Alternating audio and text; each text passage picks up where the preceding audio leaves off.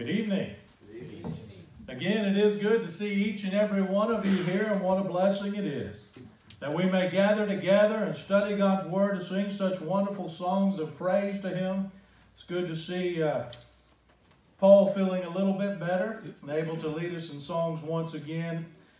As we come together tonight, we are going to be looking at that which we've been examining here on Sunday evenings and that is looking at the characteristics by which God describes himself or has those who are inspired to describe him uh, throughout the Old Testament in particular. Up to this point, we have looked at three Hebrew names for God, or characteristics for God. We looked at that which we find there in Genesis chapter 1 and verse 1, the very beginning there where God is mentioned the word Elohim, where we talked about and examined how that word is like the Greek word Godhead. It is one God being manifested or talked and explained through the deities of three, the Father, the Son, and the Spirit. We then also talked about El Elyon, God Most High, and how He is truly such. And last week we looked at El Shaddai, God Almighty. Today we will be examining El Olam. And this first is found there in Genesis 21 in verse 33. This El Olam means God everlasting. There in Genesis chapter 21 verse 23 we read this. Abraham planted a tamarisk tree in Beersheba and called there on the name of the Lord, the everlasting God. When we think of this particular combination or name for God, it is one of the ones that's slightly different than those in which we've examined up to this point. Up to this point, there's been a number of passages wherein we see the combination of El uh, whether it's El, uh, Elohim or El Shaddai, or whatever the case may be, uh, we see that in many places in the Scriptures, sometimes over 2,000 times.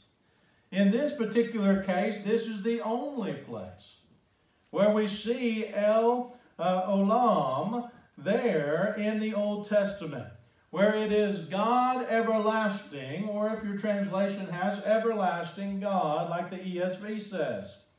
When we think about this, though, and look at this, that second word in this, that is everlasting, O-L-A-M, there in the Hebrew, olam, when we look at that in its totality, we do find a few other places in Scripture where it is attributed to God. And so it's with that in mind, we're going to examine in our lesson today how we see God everlasting in our lives and in the Scriptures. When we examine the Scriptures, we find, for example, in Isaiah chapter 26, in verse 4, where God is described as an everlasting rock. There's our word there for olam, everlasting and everlasting rock.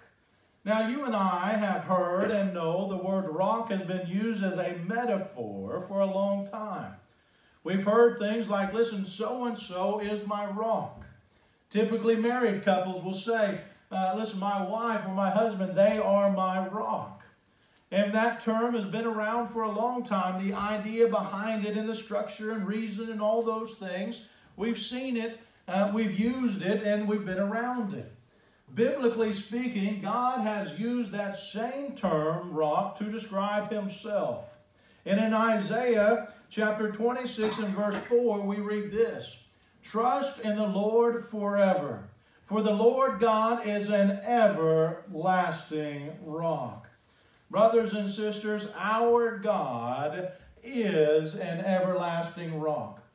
But why would God describe himself in this way? Why would everlasting God use the term everlasting rock?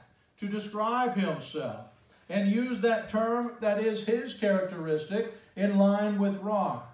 There's three reasons I want us to consider for that. First, because he is everlasting strength. When you think of a rock, and not a pebble, but a rock, there's strength behind it, isn't there? I remember one time uh, visiting my, my grandparents there on the farm. And uh, we, as the custom was, we would get there and, and we would always, as city boys, not only help with the garden and things of that nature, but we would always dig a big hole. There was land, and so, listen, at mom and dad's, if you dug a hole, that wasn't good. You got a whooping for that because you messed up the grass, you messed up all that. But out there, Nana, listen, if you go to such and such place, you can dig a hole. Later on, we joked around said we could have dug the well he dug later if he had just not made us fill it in every year, but nevertheless, we would dig that hole. And from time to time, we would come across different rocks. And it was amazing at how strong these rocks were. Now, some weren't real big and some weren't uh, real strong, but every now and then you got the one, a hammer, a chisel, everything we would try to get it out of there so we could continue digging it was just tough. It would take us sometimes a week. I remember one of them was so large and so big. I don't know why we spent the time doing it, but nevertheless we did. There was strength in that rock. Our everlasting God is an everlasting rock. He is everlasting strength. In Psalm 18, 1 through 3, we read this I love you, O Lord, my strength. The Lord is my rock and my fortress, my deliverer, my God, my rock, in whom I take refuge, my shield and the horn of my salvation, my stronghold. I call upon the Lord who is worthy to be praised. I am saved from my enemies. The psalmist here said, Listen, I know who my everlasting rock is. I know who my strength is found in. I know who is strong and mighty on my side. God, as everlasting God and everlasting rock is everlasting strength. He is that power and might we can rely on. A little later in Psalm 31 and verse 3, we read this For you are my rock and my fortress, and for your name's sake you lead me and guide me. When we think of God as an everlasting rock, He is that everlasting strength in our lives.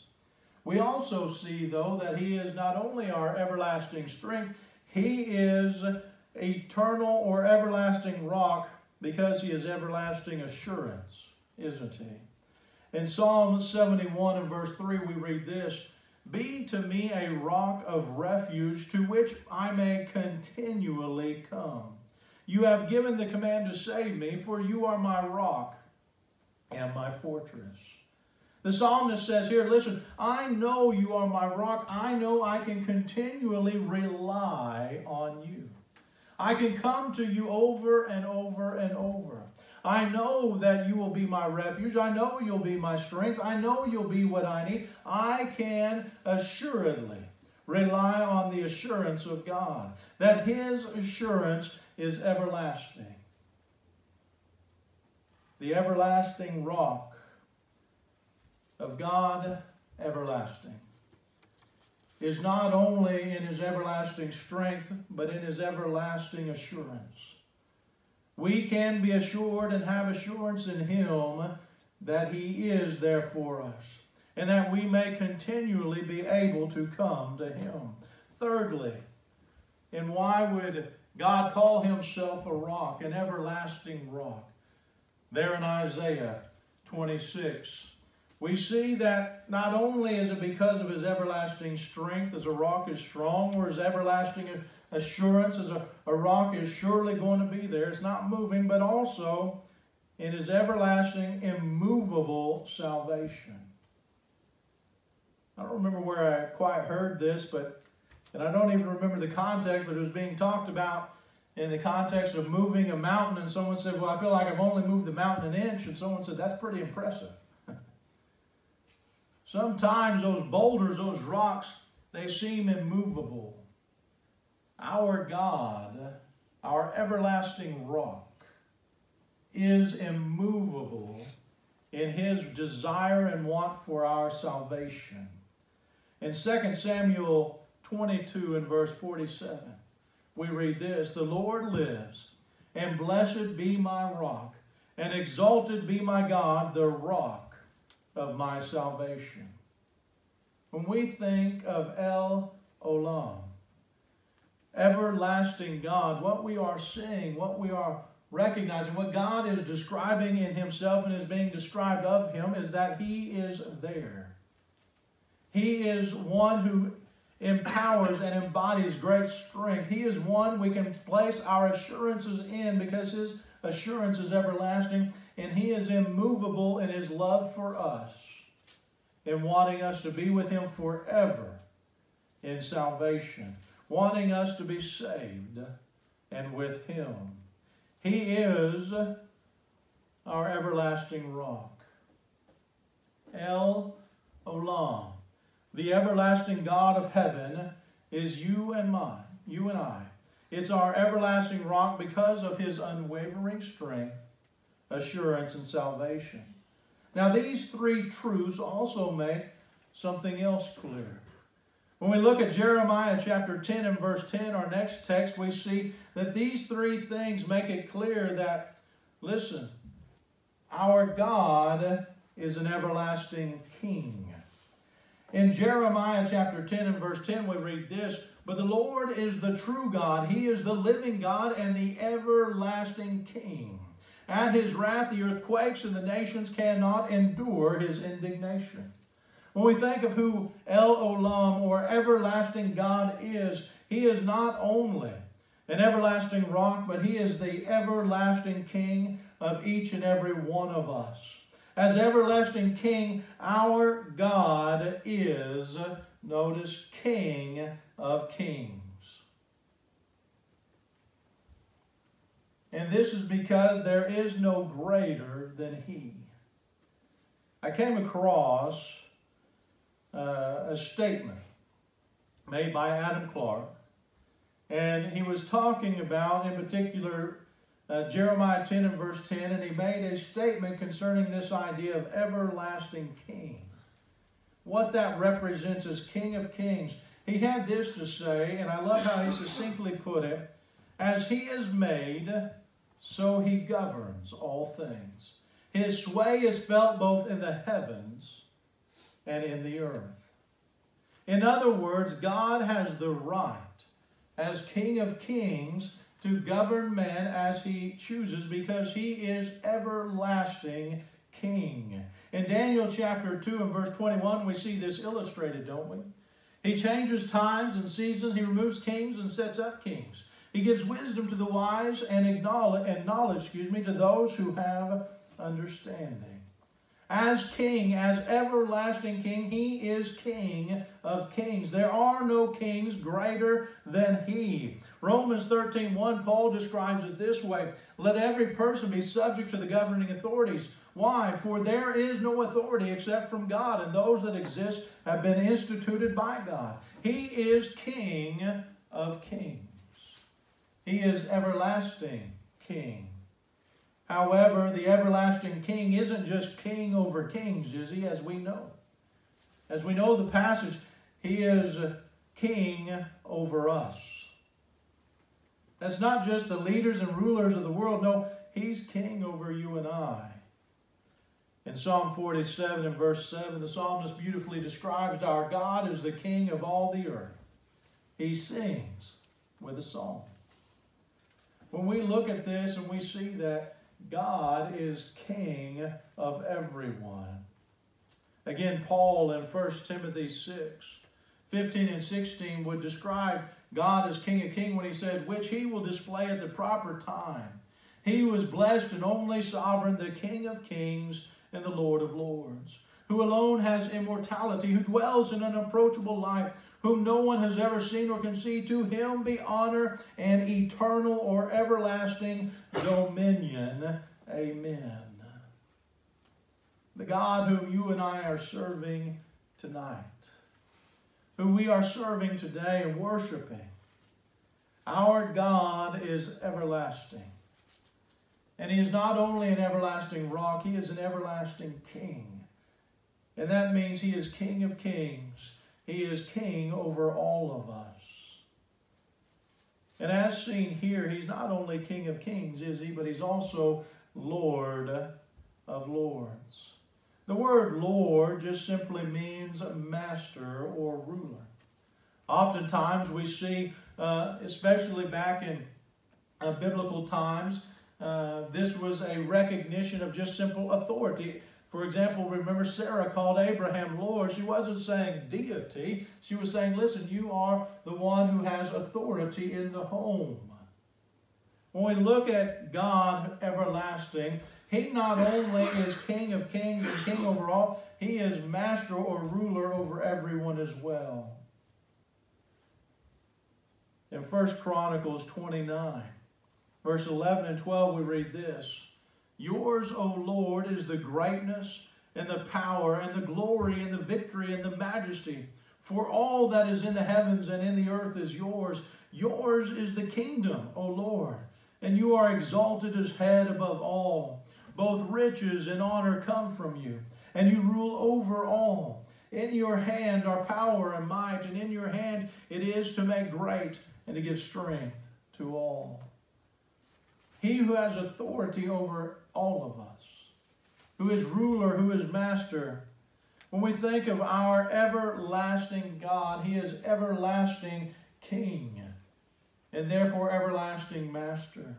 Exodus, in Exodus 15, 19, we read this. For when horses of Pharaoh with his chariots and horsemen went into the sea, the Lord brought back the waters of the sea upon them. But the people of Israel walked on dry land in the midst of the sea. He is authority over all of it, over everything.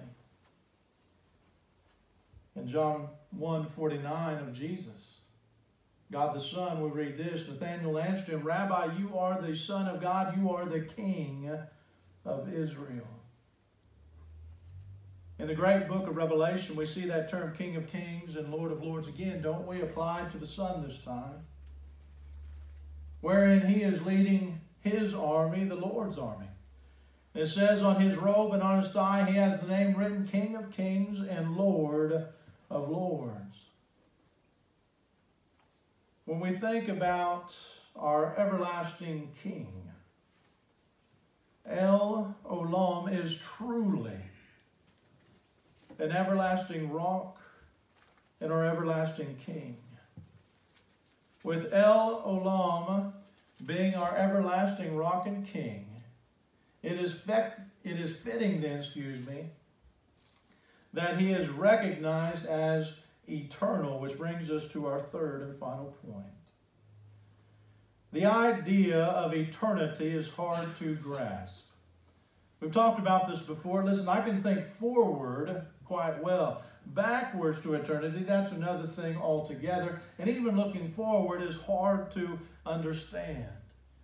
I've heard and used the illustration, you know, the guy put a string across the room and he put a, a little BB on that string and he said, that's just a blip in eternity and, and so's the string, to be honest.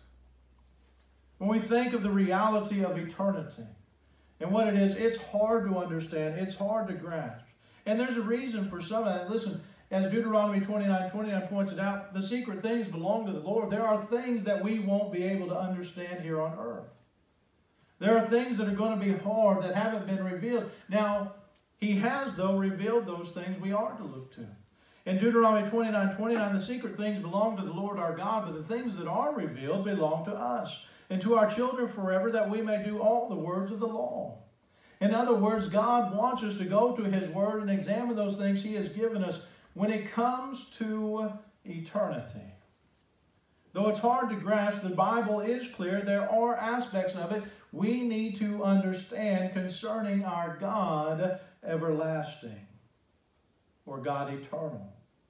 As everlasting God, who is eternal? What does this mean? Well, it means he is always, notice this, past, present, and future.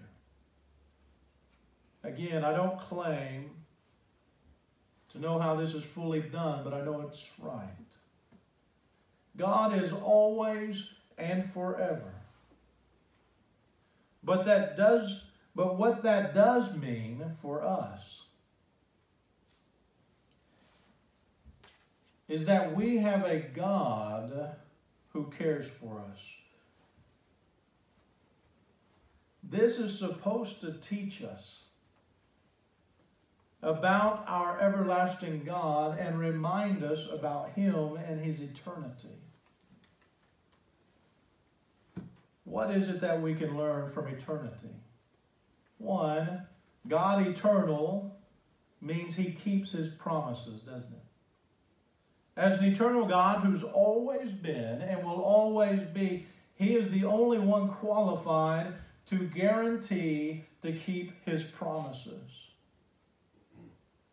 You and I are limited by circumstance, or as Solomon would write, time and chance sometimes. You and I are limited by this life and the things that can come up. The eternal God, our everlasting God, El Olam, he is not limited by such. And this means his eternity allows for him to keep any and every promise. The Hebrew writer in Hebrews 6 would start this way and say, for when God made a promise to Abraham, since he had no greater by whom to swear, he swore by himself, saying, Surely I will bless you and multiply you. And thus Abraham, having patiently waited, obtained the promise. For people swear by something greater than themselves, and in all their disputes an oath is final for confirmation. So when God desired to show more convincingly to the heirs of the promise the unchangeable character of his purpose, his eternal reality. He guaranteed it with an oath, so that by two unchangeable things in which it is impossible for God to lie, we have fled for refuge, fight, uh, fight might have strong encouragement to hold fast to the hope set before us. We have this as a sure and steadfast anchor of the soul. A hope that enters into the inner place behind the curtain where Jesus has gone as a forerunner on our behalf having become a high priest forever after the order of Melchizedek. The reality of eternity in our God is that He is not limited like you and I to His promises. When He promises something, He can keep it. His character, His purpose, it is unchangeable, unwavering. It will take place. Eternity in God teaches us that we can rely and trust in Him for everything and in everything. The second thing it teaches us is that eternal God means He will never leave us nor forsake us. The Hebrew writer again there in 13 and verse 5 says this, Keep your life free from love of money and be content with what you have, for he has said, notice, I will never leave you nor forsake you. Eternity or everlasting in God means that He has always been, will always be, and has all, and will always go forward in the future. He will never leave us nor forsake us if we seek righteousness and truth in Him. His eternity means that we can rely on Him.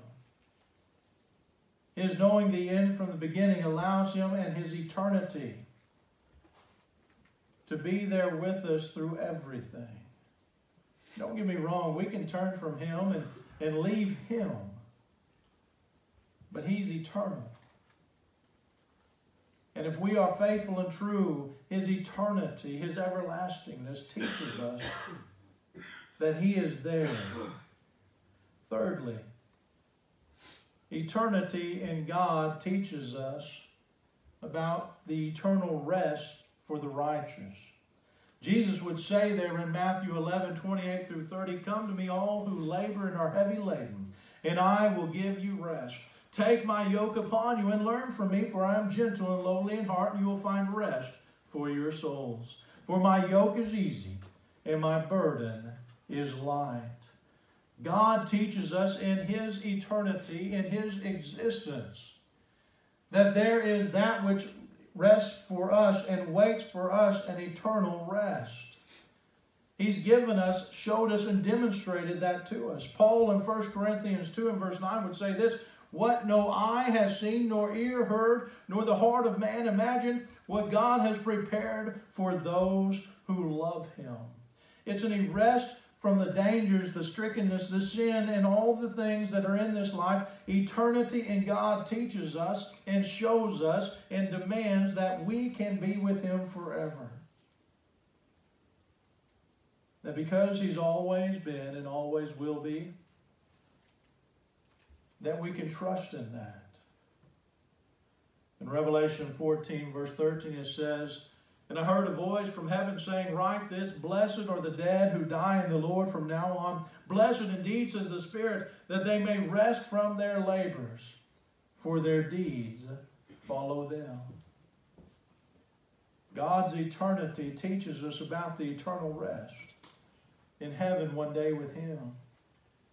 In Hebrews 4 10 and 11, again we read this For whoever has entered God's rest has also rested from his work, works as God did from his. Let us therefore strive to enter that rest, so that no one may fall by the same sort of disobedience.